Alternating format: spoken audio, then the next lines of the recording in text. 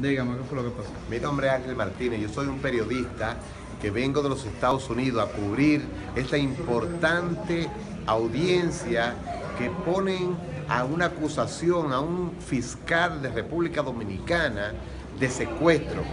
La fiscal Jenny Berenice está acusada de secuestro y se está ventilando esta corte aquí en el Palacio de Justicia y yo estaba informando por Twitter a todo el pueblo dominicano porque la prensa no había llegado.